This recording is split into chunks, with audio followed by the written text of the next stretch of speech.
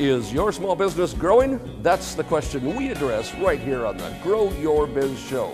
It's where we interview strategic entrepreneurs who inform and inspire you on your solopreneur or small company journey. Thanks for joining us on this episode of the Grow Your Biz Show. Hello and welcome to the Grow Your Biz Show. I'm your host, Paul Madsen, and this is episode number 116, 116 of the show. And I have a very special guest with me today. Uh, his name, how you doing, Robert? Robert Hilkemann.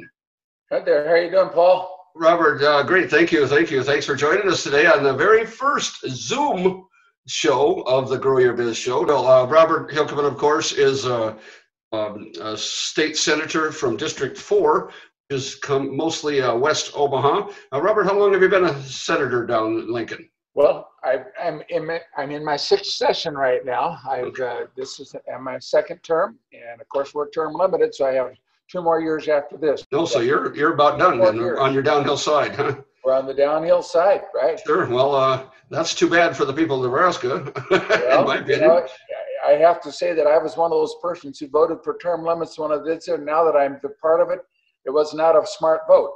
Oh, so, really?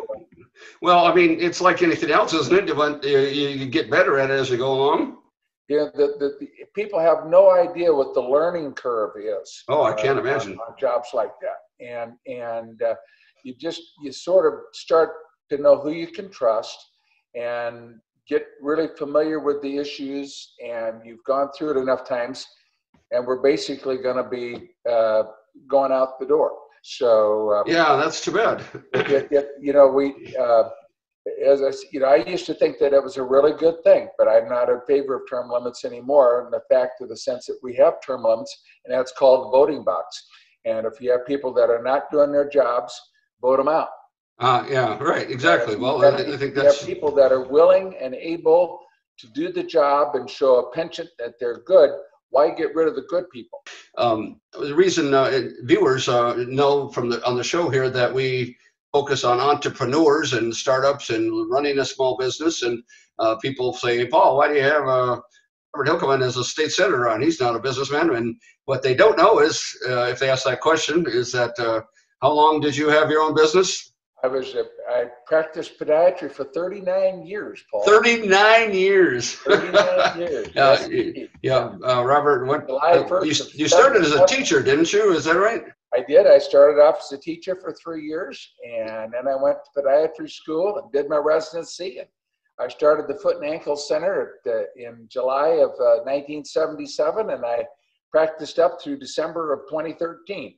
Wow. I, well, that's and, uh, you know, it's interesting when we talk about entrepreneurship uh, and small. It, I really think being to, in order to get elected, you almost have to be an entrepreneur to do that as well. So there's well, an awful lot of correlation between running a small business, getting elected, and then once you're there in the legislature, I, did, I think you need to be you, the, the same things that made you successful as an entrepreneur will make you successful as a senator. Well, I could totally see that with uh, I mean networking and the building relationships and having uh, the um, the wherewithal to go deeper and ask questions and probe and not take things at face value. I mean, all sorts of entrepreneurial skills would be required. I never really thought about that. I, I especially see the the to get elected part because I remember some of your election, you were a you were a genuine startup. I mean, well, you were. I, total... I had never been in politics, and so right, um, right. Uh, we just had to start off from door from knocking on the doors and letting people know. But but a lot of the principles that I used in my practice are what I used in my in in the election as well. So. That's right. Well, and so again, people with 39 years remember that's a business. It's not just uh, you had your own business. You weren't employed by a hospital or anything like that. You uh, had uh, how many employees at your peak? Oh, probably 12 or 14. Holy cow. Yeah. And so, I mean, you know all the pitfalls and challenges of starting a business, running a business, meeting a payroll and, and all those things. So I think you speak from, a, speak from a lot of uh, experience on that. That's terrific. Yeah. 39 years. that's a, that's a pretty good number. That's, that's terrific. Well, and uh, I, I, think I have an end. You just before we move on, the whole idea of, um, of, uh, how you talk about entrepreneurial to get elected. Uh, tell folks how how many doors you knocked on and how many thank you notes you wrote and all that. I mean, oh. we talk about customer acquisition in the entrepreneur business. Well, you're acquiring a vote, right? You said you're, and tell us about how you did that. Yeah, well, the the the, uh, the, the, big deal is is uh, you you have to know your you have to know your subject. You have to, in other words, you have to. It's your knowledge that you have of the job. That's the important thing. It's raising money it's making people aware and it's your image. Those are the things that you need to really focus on.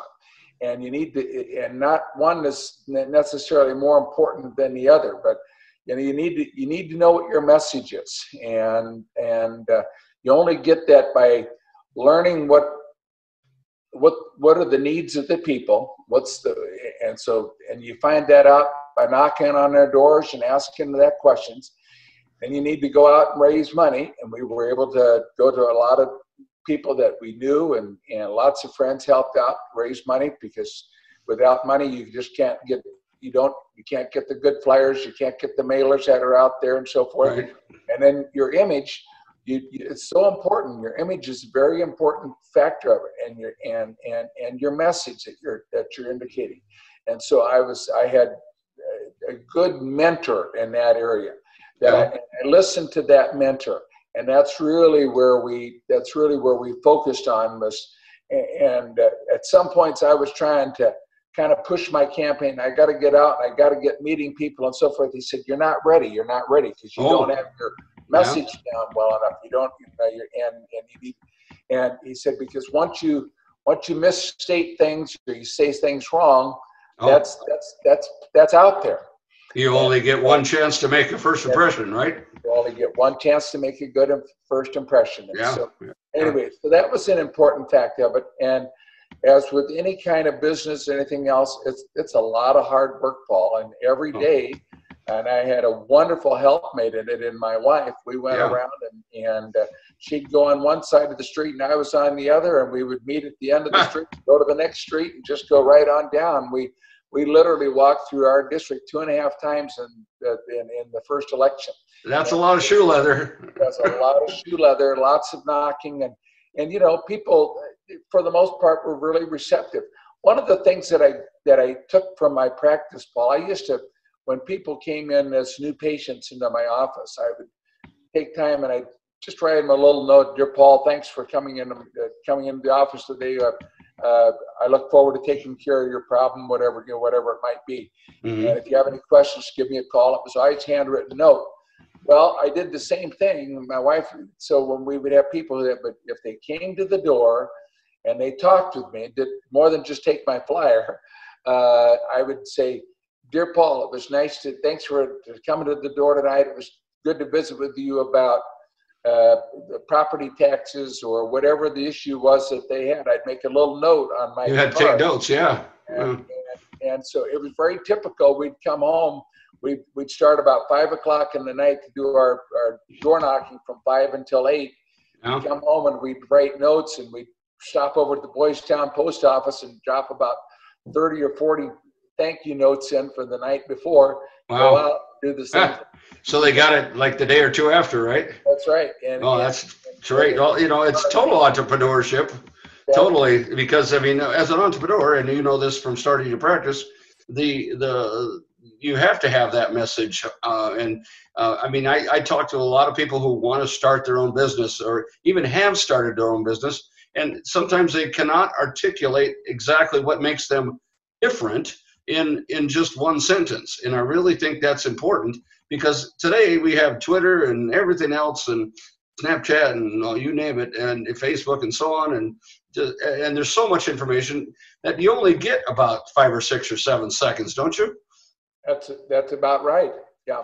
And so did what was your uh, what was your message as a as a uh, candidate for office and uh, and going way back uh, when yep. you were acquiring new my, my patients way back when. I, I, would people come to my door and I'd say, "I'm Robert Hilkemann and I'm running for the for the legislature. I'm a lifelong Nebraskan. I was a teacher. I was I've retired from my medical practice. I now want to take the opportunity to serve you in the legislature and and use my years of experience to serve you." That was Boom. it. You're done in uh, you're done in 12 seconds. It- well, it's it's it's it's that elevator speech that you have. Absolutely. I finally have mine down to to um, let's see if I can do it by heart. um, growmedia.com builds your social media engagement via short strategic videos. Yeah. What I uh, what I do when I to monetize my work outside of this TV show, and um, I like it because it says what I do and and it says who it's for, and you know it's for that small business person because so many times oh i got to be on social media. What do i do? I got to be on social media. And they don't know what to put on it and they don't know how often to put it on or what to put on. And uh, a project i just completed with one client was uh, created eight testimonial videos of his customers and he's going to put those on on a series of each week coming forward. And it's just fun. I'm not here to talk about me i, I just want to emphasize the how important it is for people to have their message in one sentence. What did you do when you started your practice? When you were looking for uh, new patients? I'm sure there are other podiatrists established in the community and how did you uh, compete with that? How did you Yeah, articulate that? The, the real thing that you need to do is you need to let people know that you're aware, and you also need to know your customers. And and and uh, for me, we're my practice grew because I would get referrals from not only other podiatrists but also from from general physicians, and so it was Oh, yeah. important for me to go out and meet the different physicians and to let them know what I did and. Uh, so I was I was always making phone phone calls, writing notes, uh, letting them know that I'd seen. Even if I, even if they hadn't referred me to you, I would oftentimes send them a note and say, you know, I saw your patient Paul, and uh, he, he's Right. dealing with a with a heel pain or whatever else it would be, and and uh, just wanted to make you aware that he that, that he's under my care for this that type of thing. Just that would get my name out. And you so wrote a lot of personal notes then too lots of personal lots Yeah. of personal. You know, you know, the power of saying thank you uh, is so important. because nobody does yeah nobody does anymore i mean i it just seems like everybody's I, I really agree with that, Paul. And, and, and I think one of the things we had with, with email and, and all of our social media now is, is that people say, well, I sent you an email.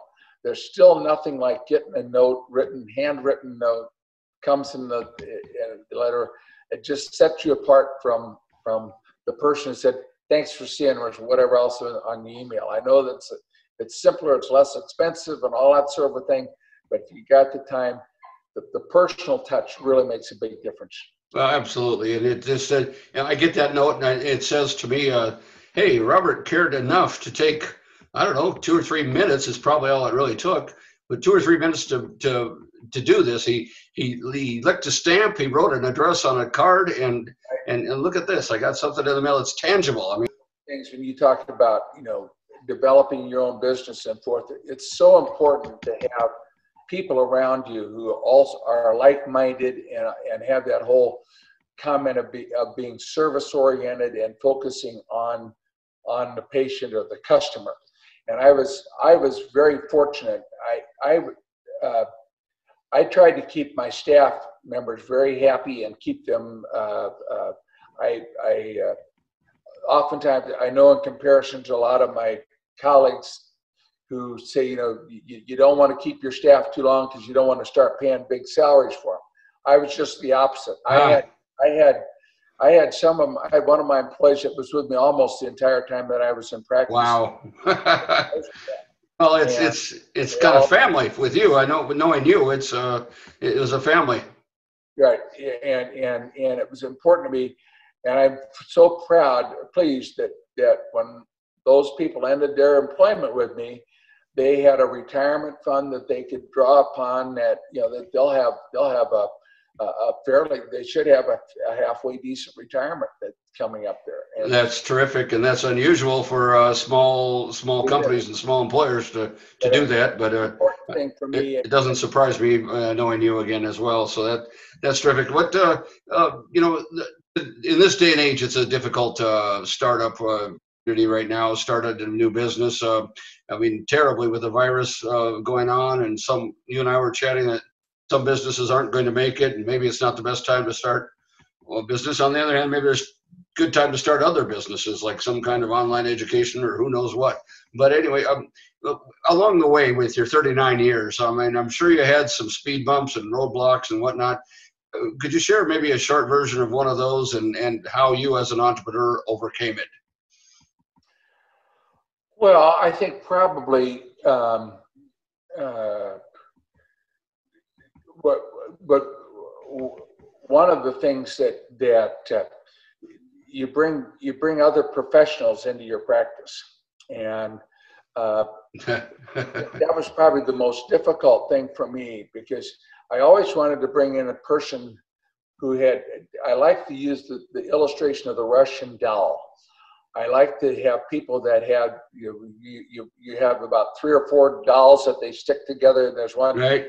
Right. I always wanted to have someone who came in who had skills that I didn't have or had was a bigger person than myself, and I wanted them to to branch out from that. Right. And uh, over the years, I'd have some. I brought some people in that that that had those skills, really grasped it, and they were wonderful, wonderful partners. But then I had some that you would bring in, and then they they tended not to. Uh, uh, you, you, they they weren't into the service aspect that you were there. Uh, for right. me, availability was such a big uh, uh, uh, deal. I always had the philosophy in my office: there's always room for one more. And people would call in and they needed to get in, we always found a way to get them involved in it. I right. had Saturday hours. I would go later if I had to in the day. Right. And for me, I was always I always wanted to be available. Well, sometimes you get some of the practitioners that that you know they, that's not their style anymore. That they, they want to you know they they feel that that uh, yeah you know I'm gonna I'm gonna work from nine to three or whatever else. Yeah. Whatever, and so that was always a struggle for me to find people that had the kind of commitment, the work commitment that that uh, that I used to like to put in. And sure. that was that was gotta a, get that ownership uh, mentality in there, and it's not always easy to do when you're hiring employees. But you know, it, that that is uh, when one starts to duplicate themselves in a small business. I mean, I work with a lot of individual one one off, you know, solopreneur types, and when they make that next step to uh, getting that next person, that's a really big jump sometimes because, it, like you say, it can affect everything. Right. Got to be the cultural fit, right? Yes, you know, and, and, and you either get people that have that kind of uh, that mentality that you know that we're uh, so the, the the biggest challenge for me was not necessarily finding the employees that were the you know the that did a lot of the, the basic work, but professionally, I said that was my biggest struggle was getting people that I could count on that were going to be there and, yeah. and uh, but the periods of time when we had good people to work with, it made a huge difference for us. So.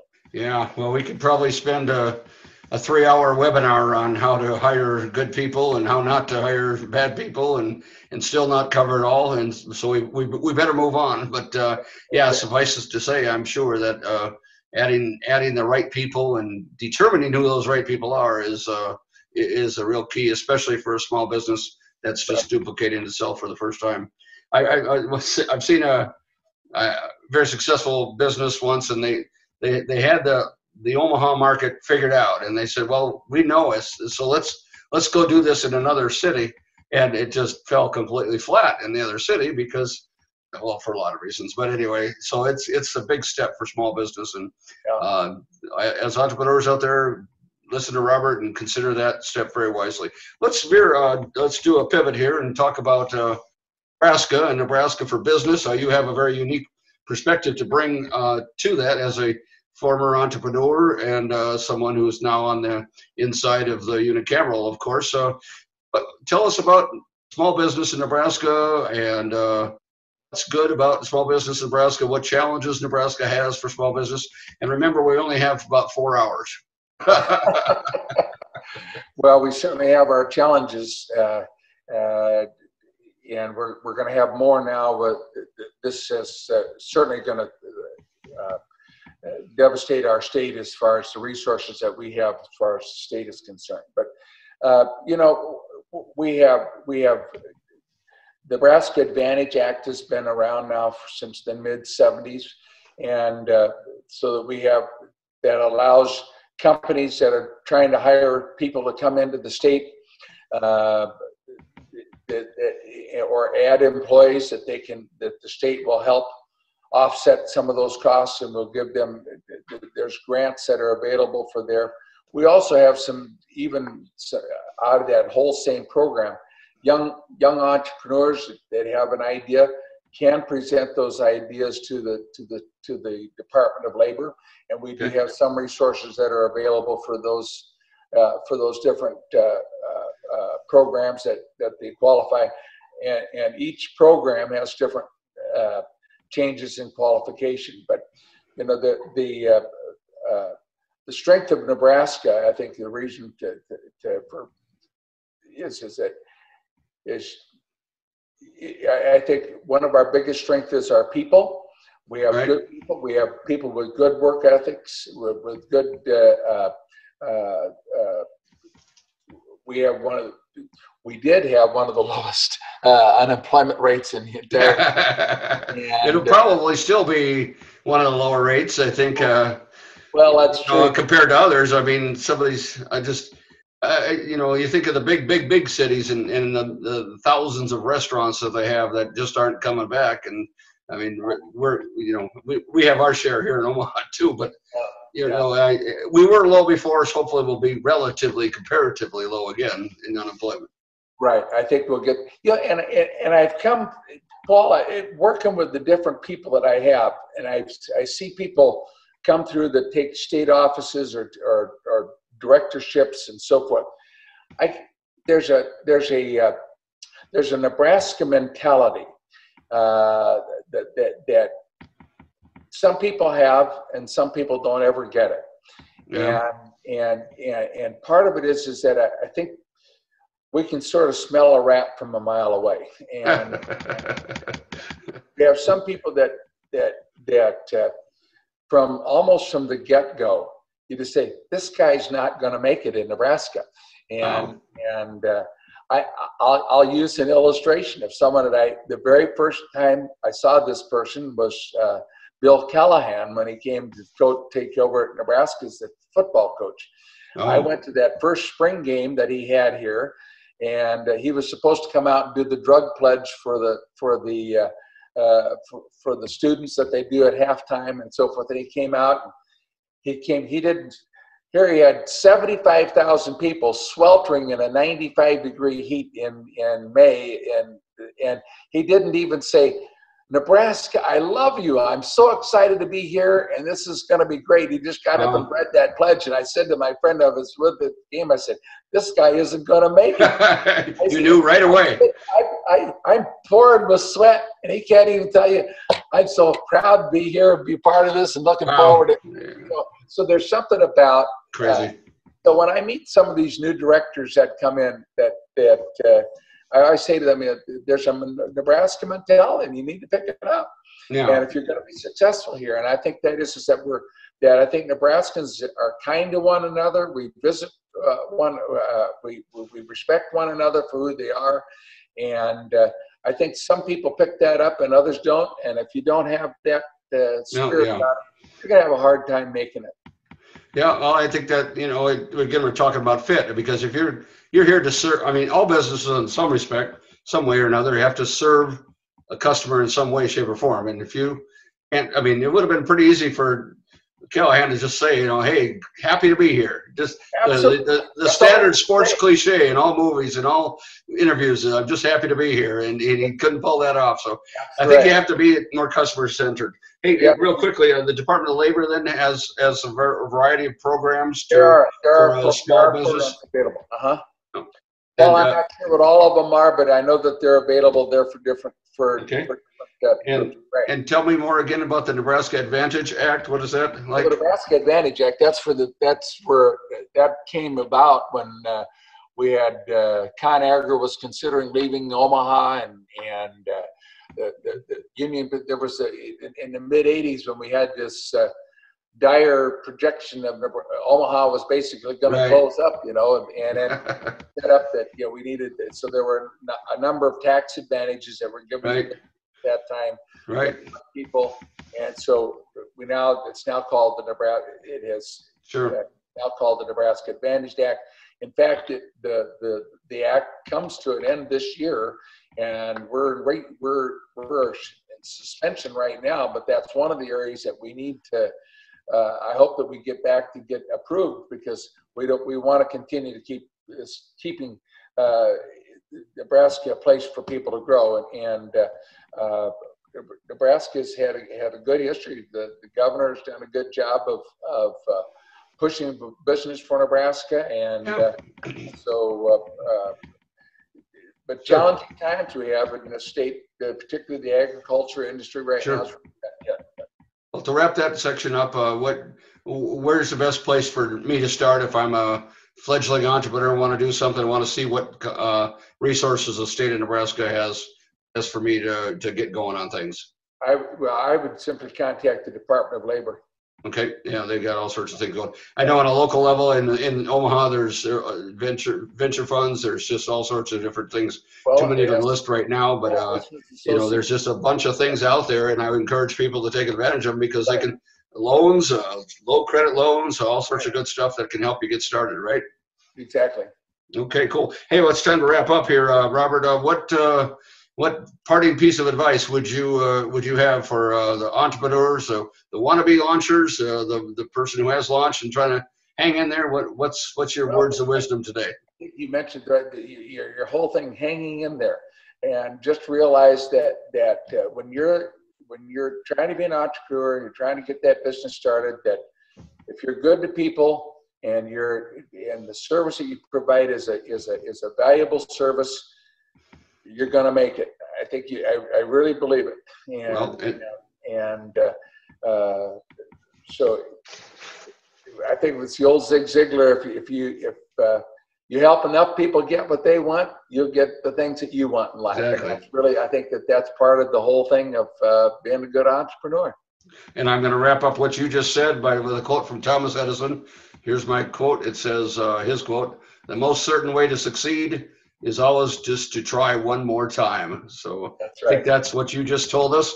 Um, impressive with your 39 year. You couldn't make it to 40, huh? In the podiatry. I, I would, I would have, I would have loved to, but then I had to run for that election. I so- know. Yeah, I gotta gotta show up down there in Lincoln, right? That's So, great. Yeah, Hey, thanks so much for your uh, your time with us today. Good luck in the rest of your uh, service at the unicameral, and and we'll see you see you all see you around. all right. Good enough. Thanks. Take care, Robert. Very best. You bet.